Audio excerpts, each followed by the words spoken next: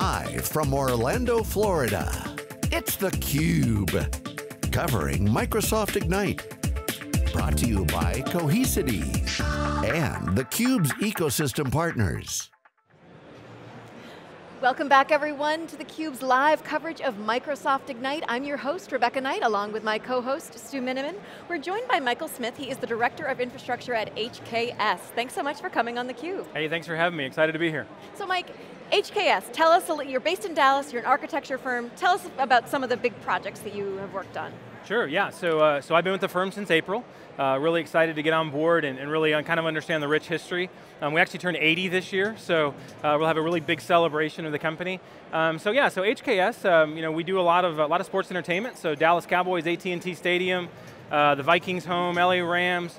So about 30% of our mix is sports entertainment. So you may not know the company, but you certainly know the, the buildings we design. Buildings, yeah. Exactly. Actually, when you talk an 80-year-old firm, and I think of those two buildings, well, I'm a techie, I'm a sure. geek there's a lot of technology that goes into that. I, would love just a viewpoint as to how the company looks because 80 years ago, I'm sure they didn't have the tech people in there. Design is very much what they're, how, how does that, you know, the, the, the, culture and inside the company a little bit? Sure, yeah, so that's really the, that's really the neat thing, right? So is that everyone thinks that it's a, it's a company full of architects, right? And for the most part it is, but you know, so we have nurses on staff, right? Why? Because we build hospitals. Yeah. Um, we have people that understand how buildings work. So, um, so uh, uh, part of our five stakeholders, the, the community is actually one of those stakeholders. So, you know, we're not just listening to the, the client who's asking us how to build it, we're seeing how that building is going to fit into the community, into its surroundings, um, and how it's really going to interoperate, because, right, because these buildings are, are going to be around for, what, you know, 10, 15, 20 years until the next one gets built.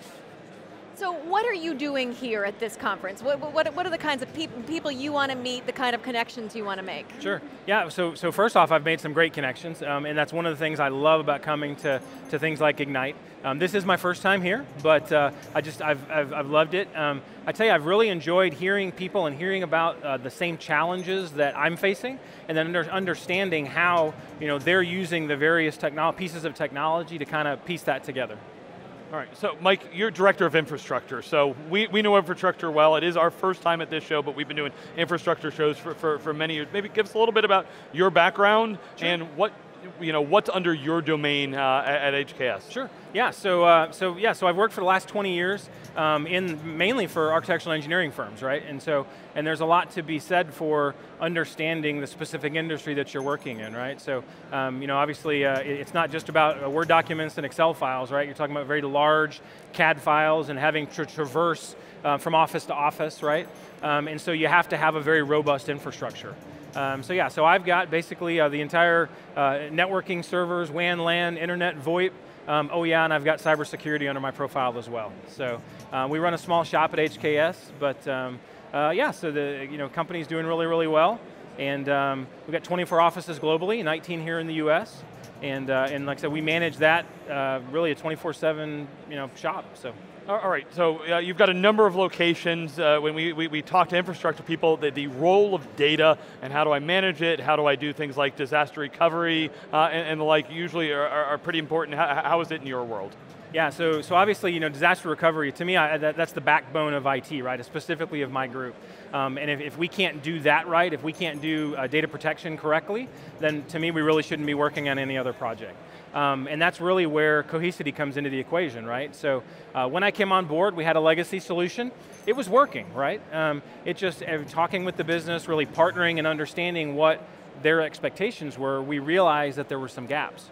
And, uh, and ended up uh, talking through, talking to Cohesity through a vendor, um, did an amazing whiteboarding session with just some folks that uh, I really felt like cared about and understood our business.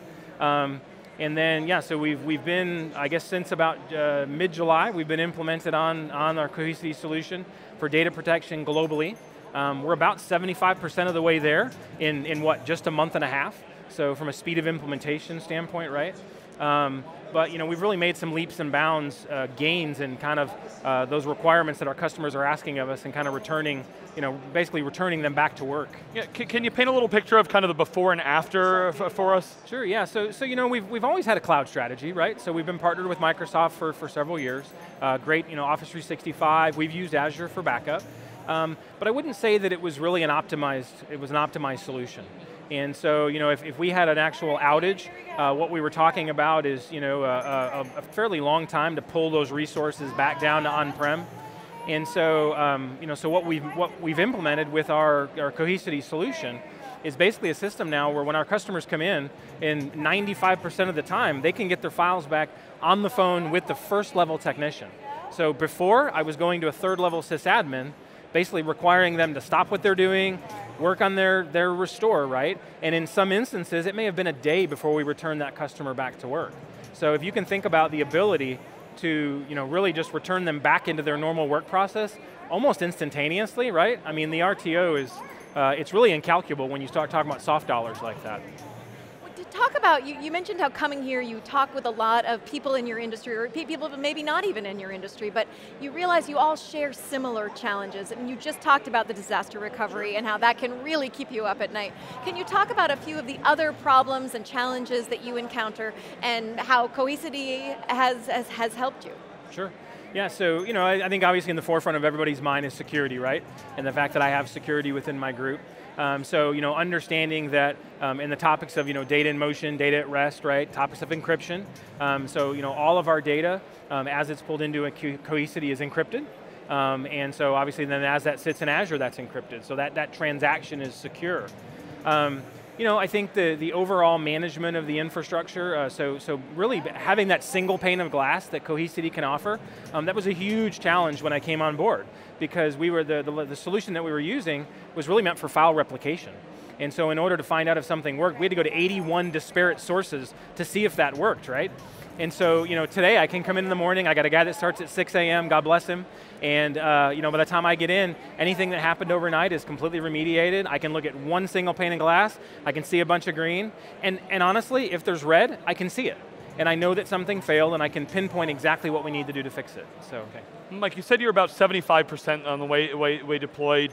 Uh, walk us through where you're going with it, what you've been learning along the way, and any lessons learned along the way that you know uh, you could share with your peers as to uh, you know how the experience has been, what they might want to do to you know optimize things. Sure. Yeah. So I think. Um, you know, we're, like I said, we're about 75% of the way. We've got a lot of our international sites that are coming on board now. Um, we're learning a lot about our network, right? We're learning a lot about um, you know, different things, and so I would say, you know, before you do an implementation of this size, really make sure that you have a good handle on patching, right? Making sure that all of your resources are patched, right? The last thing you want to do is find out you have a, a resource problem with you know, slow latency and it's due to a, a, a patch not being applied, right?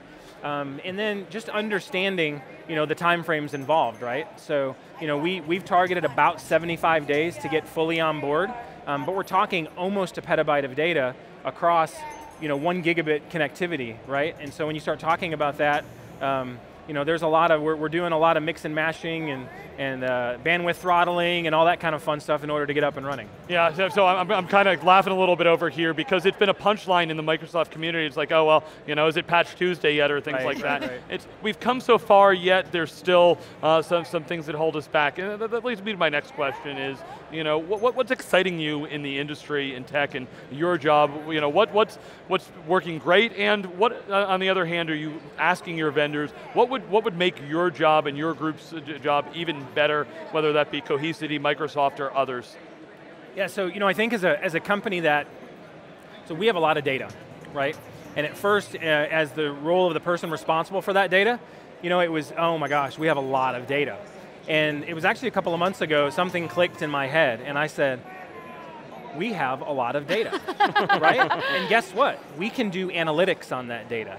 And so, you know, I think machine learning is going to be huge, right? Um, I think being able to do a lot of those tasks that we count on, you know, I have people that are doing things two to three times a week, maybe between eight and five. Well, those are things that with machine learning, right, we can have those algorithms basically running 24-7. And so we can start making leaps and bounds um, progress over what we're doing today.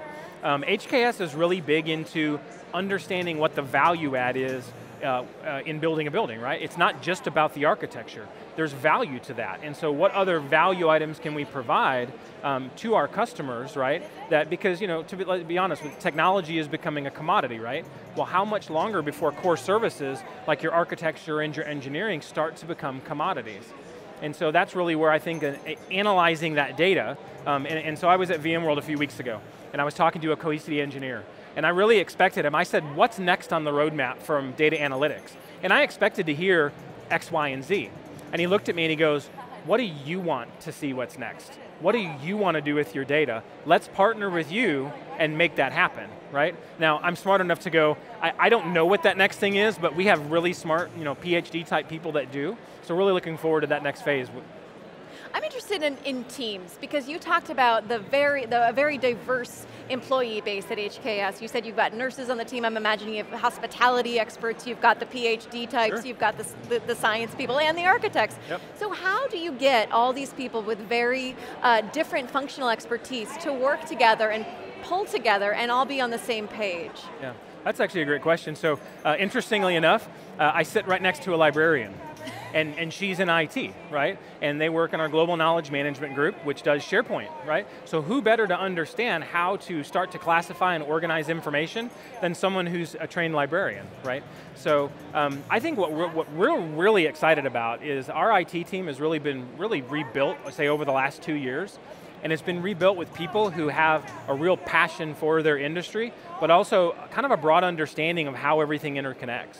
And so um, we're really kind of building a culture that says, um, if there's information there, it's, it's shareable, right? We're not holding anything close to the vest. If you want to understand, if I use too many acronyms when I talk, then ask me what they are, right? Um, and so, you know, I think that right there, that fosters a lot more involvement and people give more of themselves incrementally you know, when they understand that, you know, hey, there's skin in the game, and, and yes, I'm a librarian, and I may not know the technological things that you do, but if I say, well, hey, what if we do it this way, you know, we're not just going to blow that idea off, and we're going to actually incorporate that into the greater solution. Great. Uh, Mike, I, I, we talk a lot about AI at the show and IoT. You're doing buildings. I'm curious how things like all the sensors and everything impact what you're doing, how you, how you partner uh, with, with, your clients on that. Sure, yeah. So we've, we've got a great team that really focuses on that, that entire uh, extended set of technologies.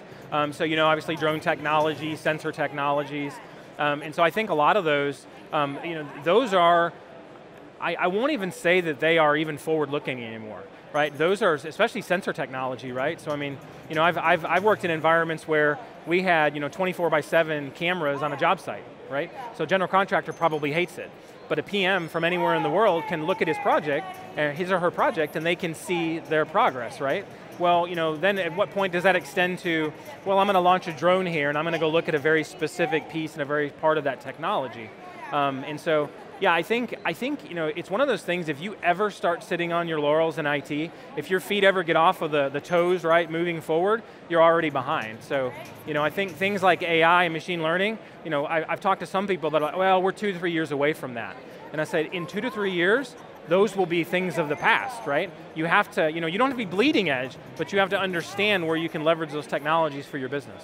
Give us a little candy here. What, paint a picture of what the, the building of the future is, whether it's the stadium of the future, the hotel of the future, just get us excited here. What, sure, what are some yeah. of the things that you're, that you're looking yeah, so, at? So I actually talked to a gentleman a couple weeks back and they're, they're building a hotel. And, and this hotel has, has Bluetooth sensors in the room, right? Um, can't do any kind of cameras or anything like that. But basically what it can do is based upon the signal saturation of the Bluetooth, it can tell you how many people are in that room because it understands the dissipation of the signal through the normal human body, right?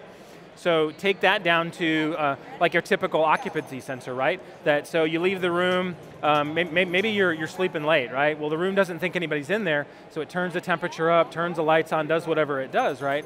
Well, with this new technology, right, it can't do that. So fast forward on, and maybe it's a little bit more scary. So now you, you go from your room and you walk down to the lobby bar, you walk past the lobby bar. Well, the, the wireless devices know the MAC address of your phone because you use that number when you checked in. So as you get close, it pops you a, hey, you want a 15% or how about you want a free drink at the bar if you come in here, right? So I think uh, uh, understanding the connectiveness of everything, right? And then really not being afraid of it. Um, I mean, there is a big brother aspect to all of this, but just kind of understanding that, you know, kind of in the, the Elon Musk vein, right, is that, is that we have to understand and we have to control where that technology is going. Um, but I think if you're afraid of it like that, right, and you, you know, well, I'm not, gonna, I'm never going to stay at that hotel because of the things that they do, then I, I think you're missing out. So. Right Exactly. Well, thank you so much, Mike. It's been a pleasure having you on the show. Yeah, thank a you so lot much. Of fun I appreciate talking the to you. opportunity. Yeah, great. I'm Rebecca Knight for Stu Miniman. We will have more from Microsoft Ignite here in Orlando, Florida, coming up just after this.